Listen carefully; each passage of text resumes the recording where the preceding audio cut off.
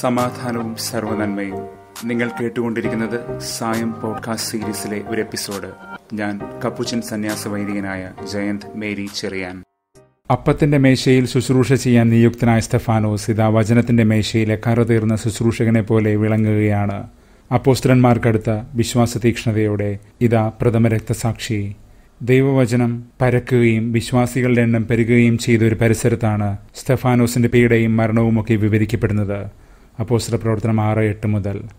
ദേവാലയം നശിപ്പിച്ച് മൂന്നാം ദിവസം അത് പുനരുദ്ധരിക്കുമെന്ന് ക്രിസ്തുവിന്റെ വചനം പ്രസംഗിച്ചുവെന്നതാണ് അവനെതിരെ ഉയർത്തപ്പെട്ട ഏറ്റവും ഗുരുതരമായ ആരോപണം. ദേവാലയം എന്തെന്നും ക്രിസ്തുവാരെന്നും യഥാർത്ഥ ആരാധനയുടെ തനിയാഴങ്ങളും സ്റ്റെഫാനോസ് കൃത്യമായി അളന്ന് അതിൽ ജീവിച്ചു ആ ജീവിതമാണ് പ്രഘോഷണമായി മാറിയതെന്ന് ഇത് സാക്ഷ്യപ്പെടുത്തുകയാണ്.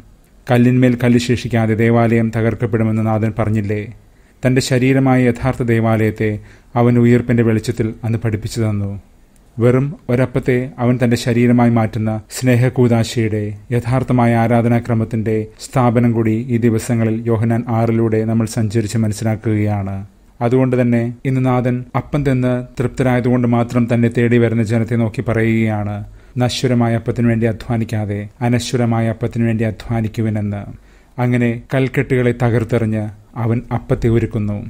പുതിയ ആരാധന സ്നേഹത്തിന്റെ ഉടമ്പടി ദിവ്യകാരുണ്യം പരിശുദ്ധ കുർബാന എന്ന കൂതാശ. കല്ലിൽ നിന്ന് അപ്പത്തെ ഉരുവാക്കാൻ കൊതിപ്പിച്ച ആ പ്രലോഭനത്തെ അങ്ങനെ അവൻ തച്ച് തകർത്ത് കളഞ്ഞു. അപ്പം ഭക്ഷിച്ച് തൃപ്തരായിട്ടും അപ്പത്താൽ നിറഞ്ഞിട്ടും കല്ലുപോലെ ആയിത്തീരുന്ന മനുഷ്യരുണ്ട് മറുവശത്ത്. വചനം കേട്ടിട്ടും ഹൃദയം കഠിനമാകുന്നവർ. ദൈവവചനത്തിന്റെ ആഴങ്ങൾ ഗ്രഹിക്കും തോറും ഹൃദയം കല്ലായി പോകുന്നവർ. അവർ ഇന്ന് സ്തഫാനോസിനെ കല്ലുകൾ എറിഞ്ഞ് കൊല്ലുന്നതിൽ ആകസ്മികമായി ഒന്നും തന്നെ കാണാനാകില്ല. മാംസത്തിന്റെ കാണൽ വ്യഗ്രതയും ബിഷപ്പുകളും ബീറുകളുമൊക്കെ മാറ്റിവെച്ചുകൊണ്ട് മനുഷ്യാവതാരത്തെ ഇൻകാർണേഷൻ ധ്യാനിക്കാൻ നാഥനെന്ന് ഈ അപ്പത്തിന്റെ സാദൃശ്യത്തിലൂടെ നമ്മെ വിളിക്കുകയാണ്. തന്റെ ശരീരമായ അപ്പം വിളമ്പുമ്പോൾ മനുഷ്യപുത്രൻ നൽകുന്ന അനശ്വരമായ അപ്പം. ഇന്ന് നാഥൻ പറയുകയാണ് പിതാവിനാൽ അയക്കപ്പെട്ടവൻ മുദ്രിതനാണ് താനെന്ന്.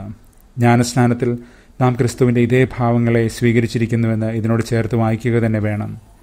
നമ്മളെ മുദ്രണം ചെയ്ത് നിറയ്ക്കുന്ന അതേ പരിശുദ്ധാത്മാവ് ദൈവത്തിന്റെ പരമമായ വിശ്വസ്ത സാക്ഷ്യമാണ് ടെസ്റ്റിമോണിയൽ ക്രിസ്തു.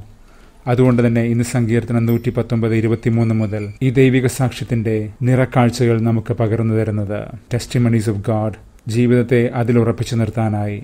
ദൈവത്തിന്റെ ഈ സാക്ഷ്യങ്ങൾ അത് ജീവിത പ്രമാണങ്ങളാക്കുന്നവർ ഏത് കനത്ത പ്രതിരോധത്തിലും കഠിനമായ സാഹചര്യങ്ങളിലും അതിൽ ആനന്ദം കണ്ടെത്തുക തന്നെ ചെയ്യും. കല്ലിൽ നിന്ന് അപ്പത്തെ ഉണർത്താൻ നാഥന് കഴിയുമല്ലോ. കല്ലിൽ നിന്ന് സ്തുതികൾ ഉയർത്താനും എവുക്കരിസ്തിയ കല്ലിൽ നിന്ന് ദൈവമക്കളെ സൃഷ്ടിക്കാനും അവനാകും.